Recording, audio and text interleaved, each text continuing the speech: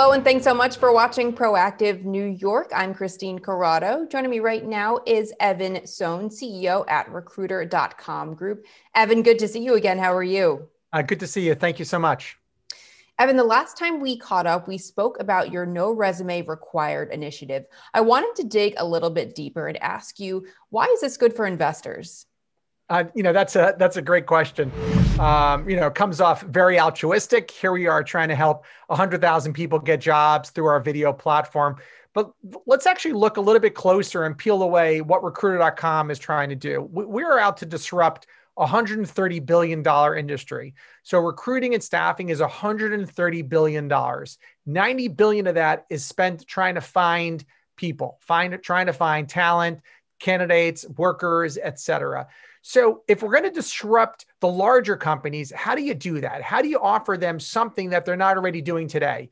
You know, the bigger enterprises, think of the ones that are hiring left and right, the really large enterprises, they have every tool, every technique, every resource needed. How do you disrupt that large those large companies into leveraging your platform and the key to doing that is to really provide them something that's new something that's novel something that is going to you know, make a difference for them. And obviously, there is a pandemic and there's millions of people out of work. And so we're going to capitalize. And again, capitalize is a bad word here, but we're going to leverage the fact that it exists to really offer this great solution for those individuals, the unresumed, helping them get a simple video resume and leveraging that to really to really disrupt these bigger eh, eh, uh, these bigger companies to letting letting us in and let the, letting them hire candidates from within our talent pool. Uh, this isn't easy to do, right? These companies are so steadfast in their ways that by capitalizing on the, this need for these unemployed people to find jobs, help them find meaningful employment, and we can really leverage our video platform, which is a low cost solution uh, to a high cost problem, and really offer these giant enterprises a way to, to really build their diverse workforce uh, and, and really serve the US economy at the same time. So, I mean, as you said, the unemployment rate is high right now, but this could be temporary. The pandemic will be over soon. So, what would happen next then? So it's really interesting. If you look at the overall statistics and you, you know, go to the Bible, Google, and you talk about uh, the employee turnover in the US on an annual basis, it's high.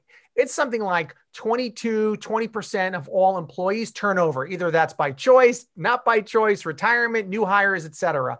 That is a tremendous, tremendous number. You're talking about millions and millions of people that are switching jobs on an annual basis or millions of people coming into the workforce switching to companies et cetera this is a tremendous amount of activity and there's a reason that 90 million 90 billion dollars a year is spent finding finding candidates and finding talent so this this problem isn't going away. In fact, the gig economy will say that people are going to be shifting jobs much, much faster. And what we're able to provide now is a long term strategy uh, by, part, by leveraging our video platform. And when this is all finished, we're going to have the largest database of video resumes available. So now all of a sudden, we're going to use this pandemic uh, to really provide this great service to these underrepresented people who don't have a, a resume through a, a TikTok like video, but now really build this giant asset of a giant video, a library of video, of video resumes that could be leveraged across all enterprises, even after the pandemic.